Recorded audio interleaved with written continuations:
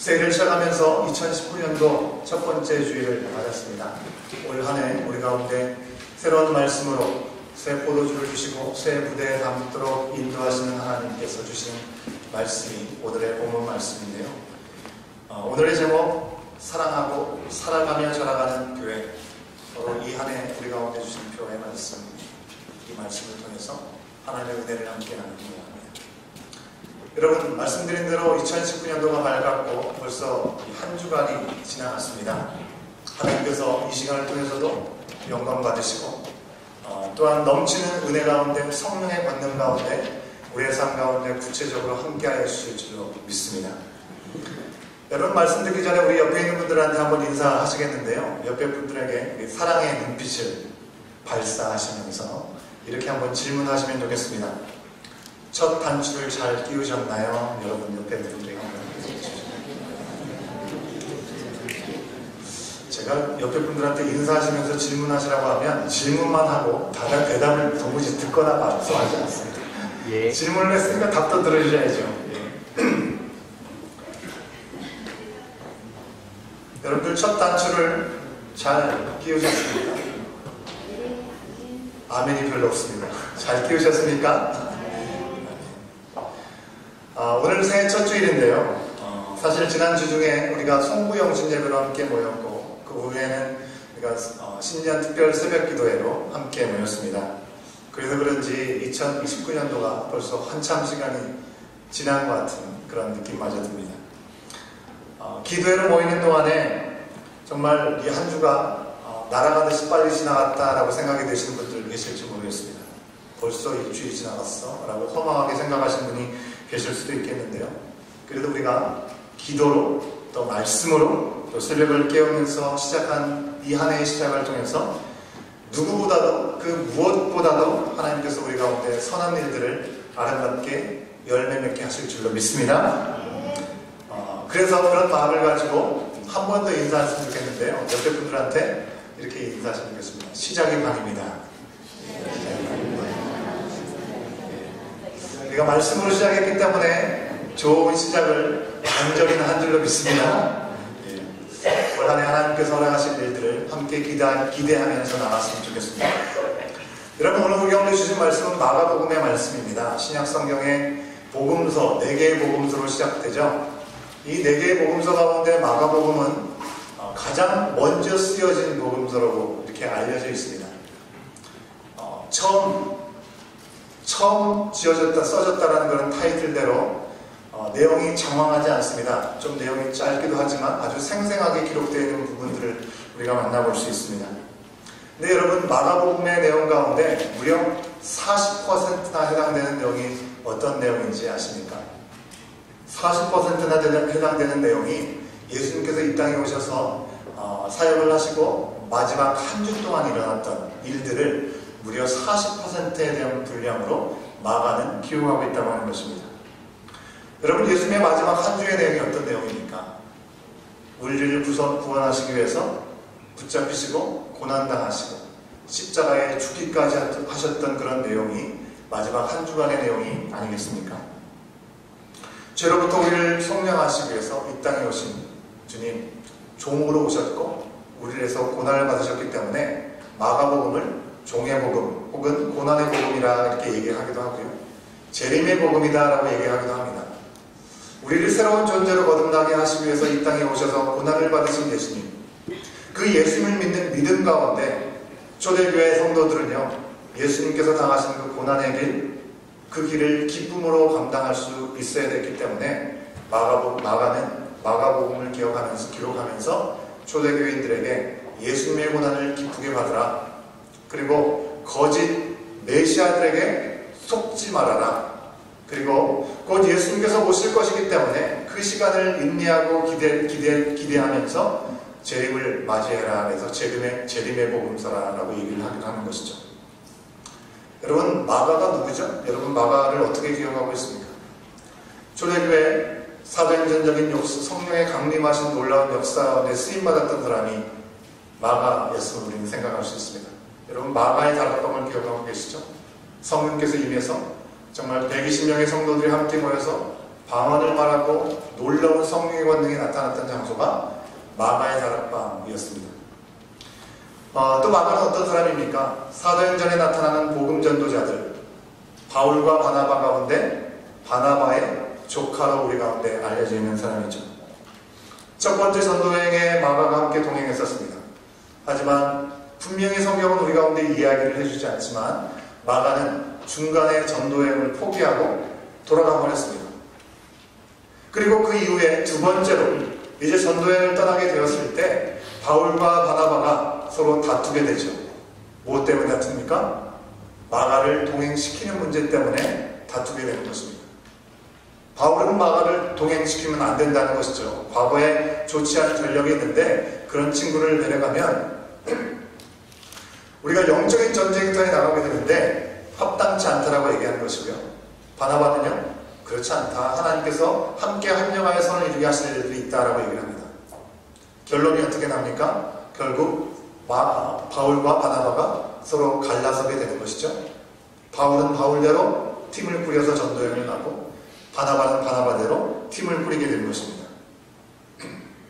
그래도 감사한 것은 바울이 서신서를 쓴 내용 가운데 마가와 함께 나중에 동역하게 되었다는 사실들을 우리는 확인할 수 있는 것이죠.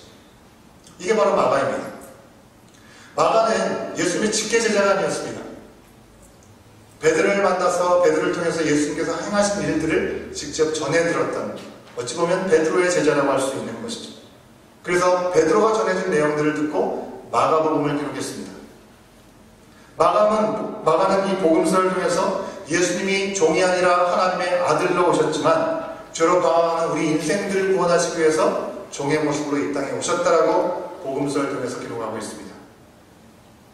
절대적인 능력과 권능을 주장하는 것이 아니라 당신이 갖고 계신 절대적인 사랑으로 가장 낮은 자리에 오신 하나님의 아들이지만 고난의 종으로 우리를 위한 위대한 종으로 오셨다라고 그는 말씀을 통해서 우리 가운데 소개해 주고 있습니다.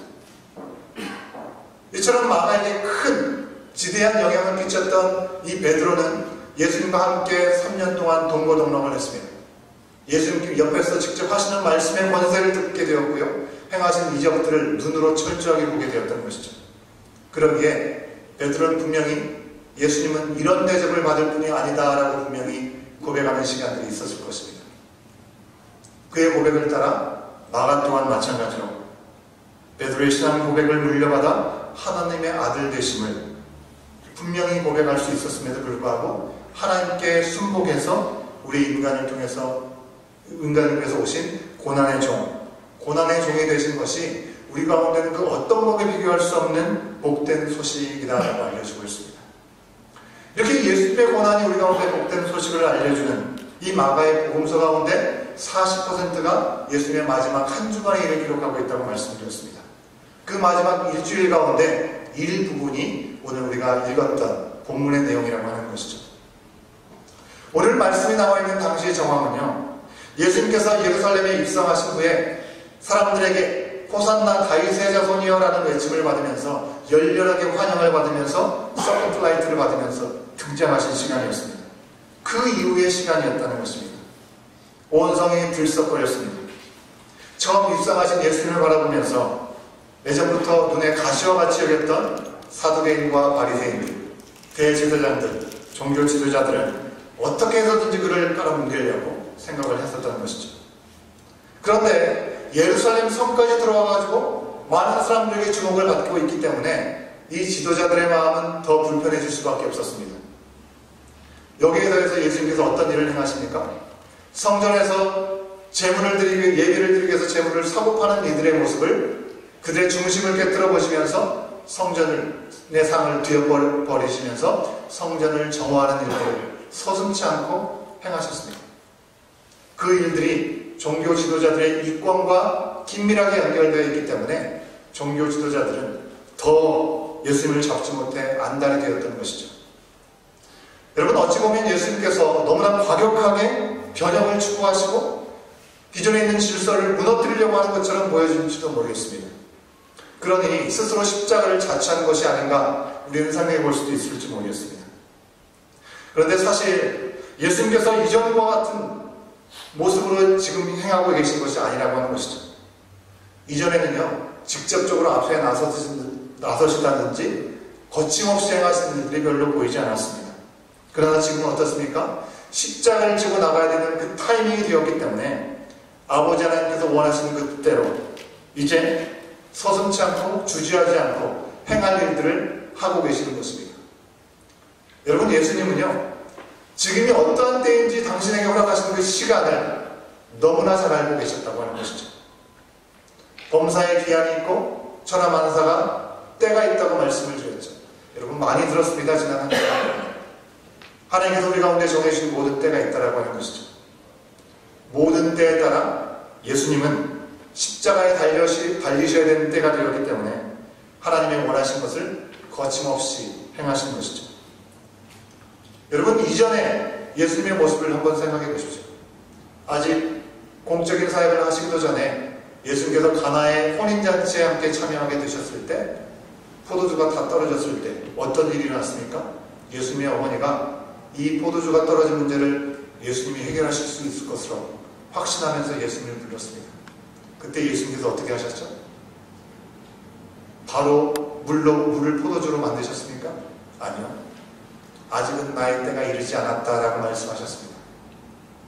또한 예수님께서 갈릴리 지역 나사렛의 촌동네에 머물러서 사역하고 계실 때 예수의 형제들은 예수님을 비웃으면서 저기 큰, 큰 물로 가서 유대 땅에 가서 당신의 일을 행하십시오라고 얘기했을 때 예수님께서 뭐라고 하셨습니까? 아직 나의 때가 이르지 않았다라고 요한복음에서 분명히 말씀하셨습니다. 어느 때든지 사람들이 요구하고 사람들의 인기에 편승해서 행하시는 것이 아니라 물러서야 될 때는 잠잠히 계셔야 될 때는 잠잠히 계셨고요. 거침없이 어떤 공격이 온다, 공격이 온다 할지라도 그 시간에 서 계셔야 되는 순간에는 예수님께서는 나아가시게 되었다고 하는 것입니다. 예수님께서 거침없이 행동하신 이 모습에 대해서 가장 좋지 않게 생각한 자들이 바로 종교 지도자들이었습니다. 공격을 쉬지 않고 행하게 된 것이죠. 오늘 말씀이 속한 마가복음 12장을 보아도 예수님은 비유를 통해서 먼저 12장 7절부터 말씀하신 것이 포도원의 비유를 말씀하고 계십니다. 눈앞에 있는 발세인들, 서기관들, 대제사장들 그들이 자신들의 기독권을 지키려고 하나님이 보내신 종뿐만 아니라 하나님의 아들마저도 죽이고 주인의 것을 갈취하려고 하는 그들은 주인에게 진멸당하게 될 것이라는 것을 우회에서 말씀하신 것이 포도원의 비유인 것이죠. 이 포도원의 비유를 통해서 종교 지도자들이 얼마나 하나님을 거역하고 있는지를 말씀하고자 하셨던 것입니다. 비록 비유였습니다. 하지만 그 이야기를 듣는 종교 지도자들은 그것이 자기들을 위한 말이, 자기들을 향한 말, 말이라는 것을 너무나 잘 알고 분노했습니다. 왜 그렇습니까? 예수님이 이 비유를 말씀하시기에 앞서 그들이 예수님을 향해서 예수님의 권위에 대해서 시비를 걸고 문제를 삼았기 때문에 예수님의 비유에 나타난 이들이 꼭 자기들을 일컫는 것임을 그들은 어렵지 않게 눈치챌 수 있었기 때문에 그렇습니다. 그런데 그들이 모여있던 사람들은요, 어떤 상황인지를 주시하고 있었습니다. 그들의 눈이 무서워서 일단 종교 지도자들은 거기서 더 이상 얘기하지 않고 물러나게 되는 것이죠.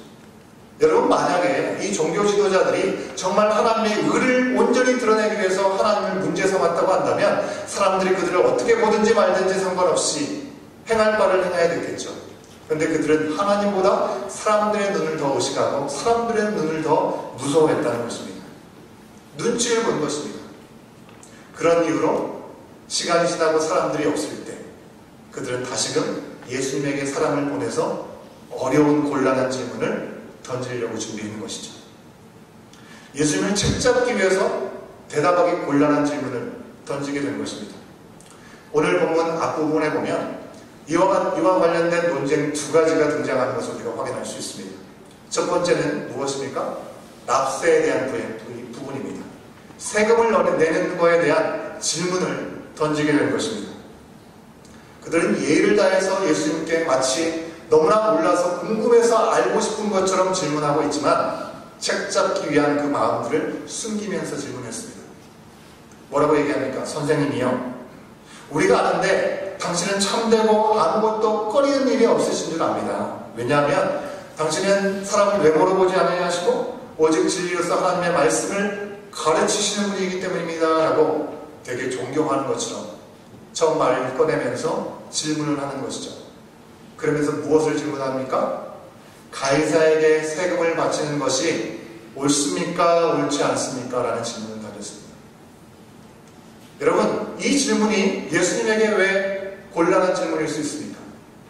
지금은 로마 제국의 지배를 받고 있는 상황이죠. 그러니까 가이사, 로마의 황제에게 세금을 내는 것은 너무나 당연한 일일 것입니다. 하지만 유대인들에게 어떤 왕과 비교할 수 없는 하나님께 온전한 헌금을 드리는 것은 너무나 중요한 일이었던 것이죠. 가이사에게 세금을 바치는 것이 옳다라고 예수님 말씀하셨으면 누가 들고 일어나겠습니까?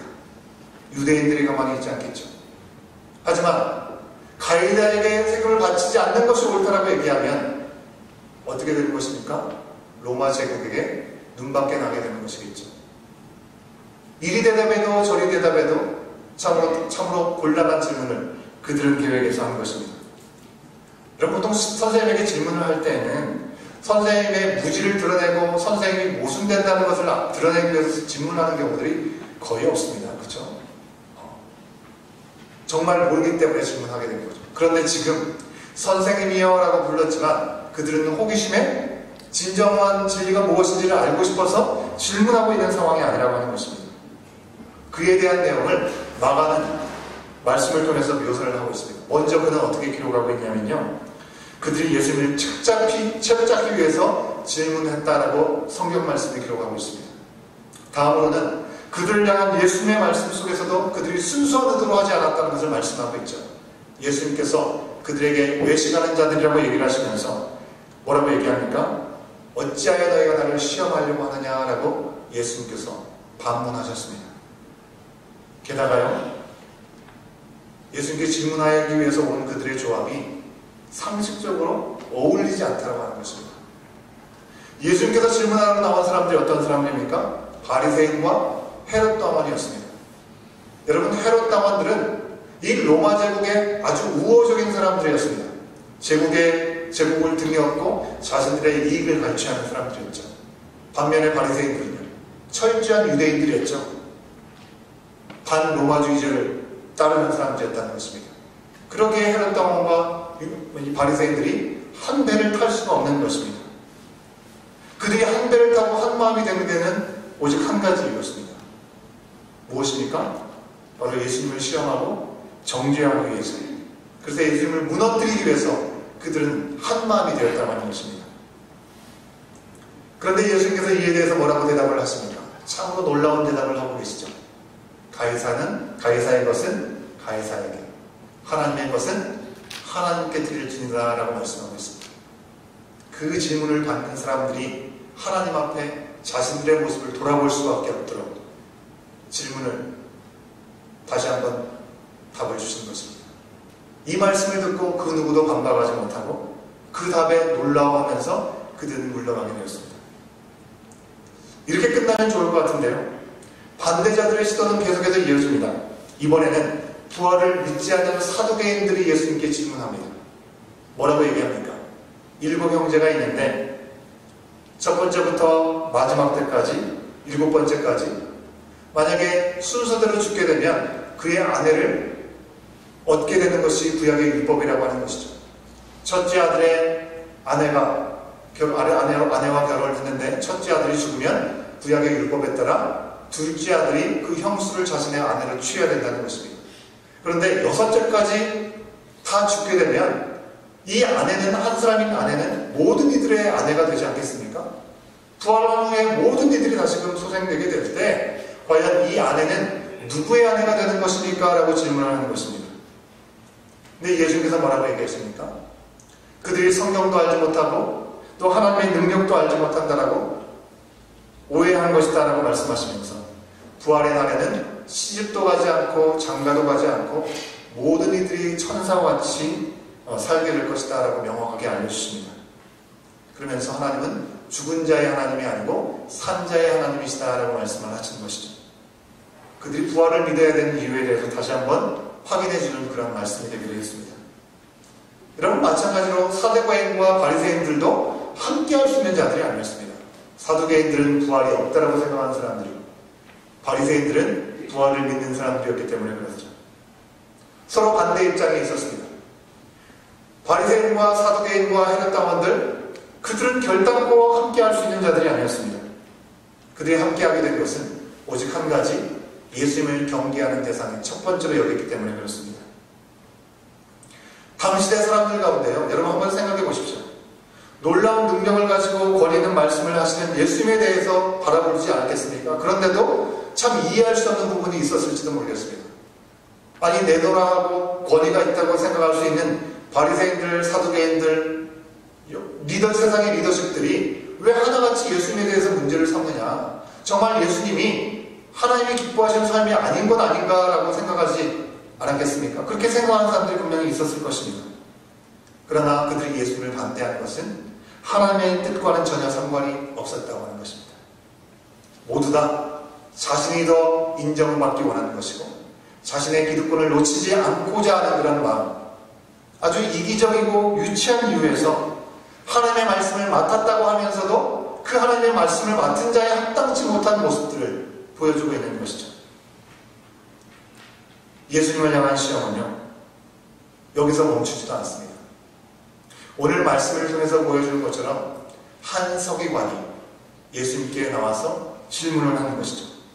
여러분, 서기관은 율법학자로 우리가 이해할 수 있습니다.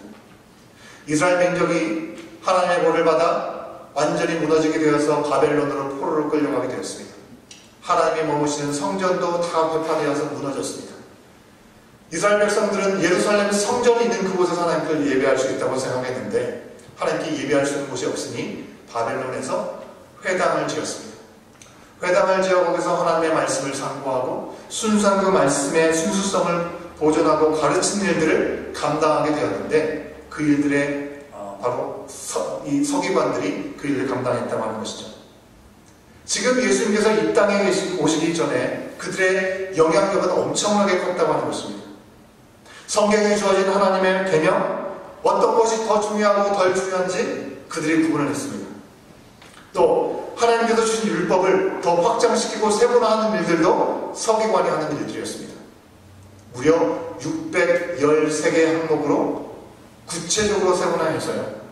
이 613개의 율법 내용들 가운데 이것은 하라, 적극적으로 하라고 권면하는 것은 248개, 해서는 안 된다, 하지 마라, 금지한 그런 율법의 명령은 365개로 구분한다, 구분해서 지키도록 안내했다고 하는 것입니다. 어떤 계명이 더 큰지, 어떤 계명이 더 작은지 그런 것들을 말하는 것을 그들은 좋아했다는 것이죠.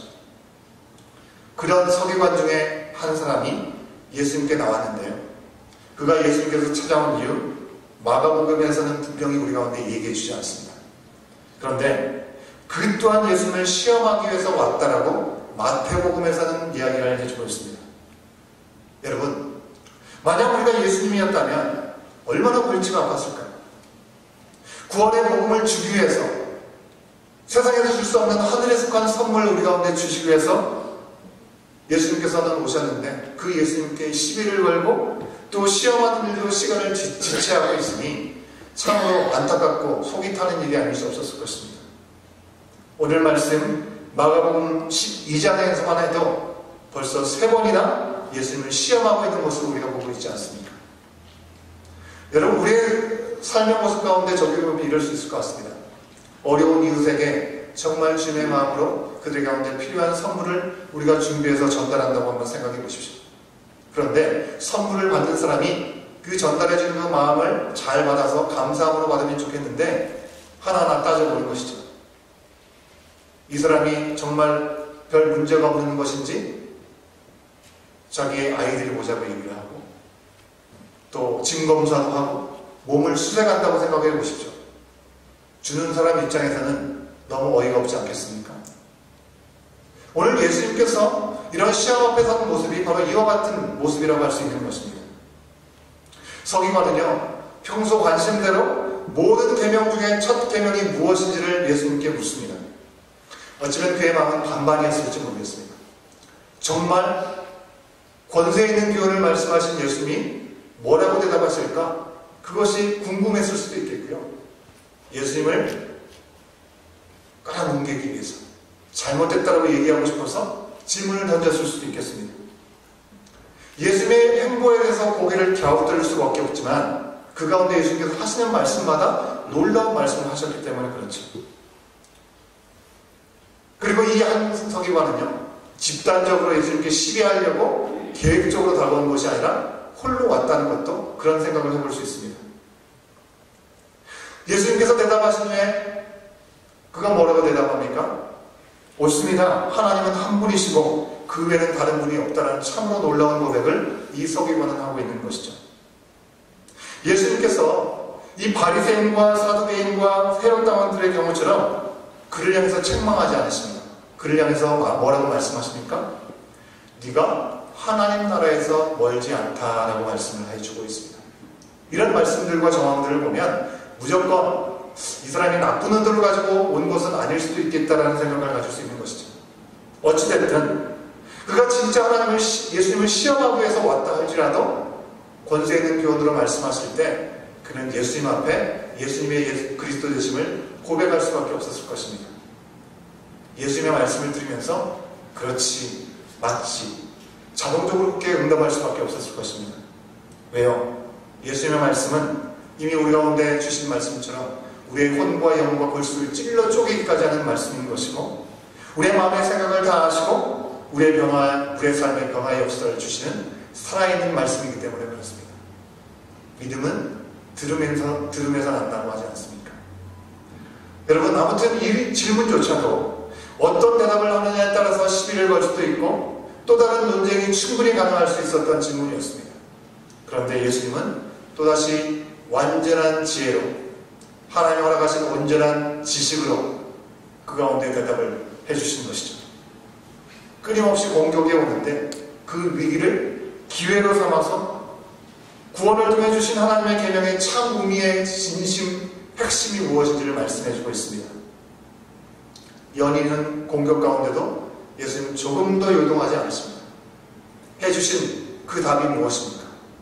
오늘 말씀 서기관에게 주시는 그 말씀이 오늘 살아가는 하나님의 말씀을 진리의 말씀이라고 믿고 고백하는 우리들 가운데 주신 말씀으로 기억하면서 함께 다시 한번 읽어보기를 원하는데요. 29절부터 31절까지의 말씀을 우리가 큰 소리로 함께 확인해 보도록 하겠습니다. 29절부터 31절까지의 말씀 우리 함께 읽어봅니다. 없나요? 네, 함께 있습니다. 시작. 예수께서 대답하시되 첫째는 이것이니 이스라엘아 들으라 주 곧 우리 하나님은 유일한 주시라 내 마음을 다하고 목숨을 다하고 뜻을 다하고 힘을 다하여 주 너의 하나님을 사랑하라 하신 것이요 둘째는 이것이니 내 이웃을 내 자신과 같이 사랑하라 하신 것이라 이보다 더 큰 계명이 없느니라 아멘 사랑하는 여러분 오늘 이 말씀을 통해서 우리는 예수님께서 그 어려운 가운데서도 흔들림 없이 주신 가장 첫째 되는 계명이 무엇인지를 확인할 수 있습니다. 그리고 그 말씀 앞에 서 있습니다. 이 말씀은요, 우리가 예수님을 믿음으로 아주 많이 들었던 말씀이고요. 계속 있었던 말씀입니다. 하지만 무엇보다도 2019년도를 새롭게 시작하면서 그리고 첫 주일을 맞으면서 우리를 우리 교회를 향한 하나님의 말씀으로 우리가 우리의 마음에 새길 수 있기를 바랍니다. 여러분 우리는 왜 교회에 모인 것입니까? 하나님을 사랑하고 이웃을 사랑하기 위해서 모인 것이죠. 여러분 우리는 구원의 약속을 받고도 여전히 이 땅에 우리의 몸을 담고 살아가는 이유와 목적이 무엇입니까? 여전히 우리가 이 땅에 몸을 담고 살아가는 이유와 목적은 하나님을 사랑하기 위해서 이 땅에 허락하신 이웃들을 사랑하기 위해서 살아가고 있고 그 방향을 향해서 나가고 있는 것입니다. 신년주일로 우리가 함께 섬길 자들을 임명하게 될 텐데요. 우리가 섬기고 또 나아가는 그 모든 사역들, 그 일들을 우리가 행하는 이유가 무엇입니까? 하나님께 더 충만한 사랑을 받고 그 사랑을 가지고 하나님을 더욱더 사랑하고 우리 가운데 맡겨진 영혼들을 힘써 주님의 마음으로 종의 마음으로 섬기기 위해서라고 하는 것이죠. 여러분 우리 이웃이 누구입니까? 우리의 가족들, 우리 교회 같은 울타리에 앉아 있는 지인들, 우리가 소위 말하는 이웃들, 심지어 우리가 알지 못하는 그 누구라 할지라도 이 땅에 한, 발을 함께 디디고 살고 있는 그 모든 사람들이 이웃일 수 있을 것입니다. 우리가 가보지 않았지만 저 멀리 해외 어디선가 선교 일을 감당하고 있는 우리 선교사님을 통해서 우리가 중보하게 되는 그 모든 사람들이 우리의 이웃이라고 하는 것입니다. 하나님께서 우리 가운데 새해를 원하시면서 마음과 정성과 뜻과 힘을 다해서 즉 내 전부를 다해서 하나님을 사랑하라 그리고 너의 이웃을 사랑하라 라고 말씀하여 주고 있는 것입니다. 오래되고 익숙한 명령이지만 우리가 새 마음 가운데 담아내고 또 새 일을 행하시는 하나님을 기대하면서 다시 한번 깊이 생각해 봐야 될 하나님의 명령이라고 하는 것입니다. 여러분 우리가 지금 살아가는 이 시대는 다른 사람을 사랑하는 일과는 상관없이 살아가는 시대가 되어버렸습니다. 내 자신을 사랑하는 것에 온 마음과 생각을 다 쏟는 세상. 하나님을 잃어버린 이 시대. 이 시대를 살아가는 우리들은요 올 한 해 여러분 너무나 많은 일을 하려고 계획하지 마시고요 2000년 전에 예수님을 통해서 우리 가운데 알려주셨던 것처럼 하나님을 사랑하고 이웃과 더불어 주의 사랑 안에 살아가면서 그리스도의 장성한 분량에 이르기까지 온전히 자라가는 우리 믿음의 공동체가 될 수 있기를 주의 이름으로 축원합니다. 이것이 바로 지금 이때 우리를 향한 가장 중요한 하나님의 뜻이라고 하는 것입니다. 잠깐 기도하겠는데요. 여러분, 모든 것에 때가 있어 2019년도를 새롭게 열어가신 하나님, 바로 지금 이때 우리 가운데 무엇을 말씀하고 계십니까? 우리 교회 공동체 가운데 첫 주일을 맞이한 우리들에게 하나님은 말씀하십니다. 예수님께서 말씀하십니다. 유일하신 하나님, 그 하나님을 향해서 내 마음과 목숨과 뜻과 힘을 다해서 내 전부를 사용하여 그분을 사랑하라고 하는 것입니다. 아울러 내 이웃을 내 자신과 같이 사랑하는 것. 그것을 우리 가운데 명령하고 계십니다. 여러분, 내가 가장 중요하게 여긴 하나님의 말씀은 무엇입니까? 하나님은 우리에게 말씀하십니다. 나를 사랑하고 서로 사랑하라. 이 말씀과 명령 앞에 우리 자신을 드리면서 우리 잠시 우리 주님 앞에 우리 자신을 내어드리며 함께 기도하시겠습니다. 기도하시겠습니다.